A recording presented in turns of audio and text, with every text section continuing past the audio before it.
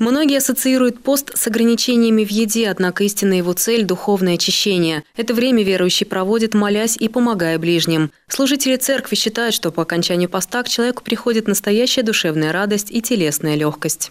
Тогда, когда ты э, видишь и чувствуешь, что ты стал лучше э, духовно, когда тебя радуют э, какие-то простые вещи в этой жизни. Это тоже цель достижения. На время рождественского поста приходится празднование Нового года, и возникает вопрос, можно ли верующим отмечать его. В этот день в церкви проводят молебны, настраивают прихожан на то, что грядущий год должен быть лучше предыдущего. Праздник можно встретить за накрытым столом в кругу семьи, даже постные блюда можно сделать яркими и вкусными. Однако, по мнению священнослужителей, во многом Новый год стал светлым семейным праздником именно благодаря тому, что связан с Рождеством. Если Новый год – это рождение нового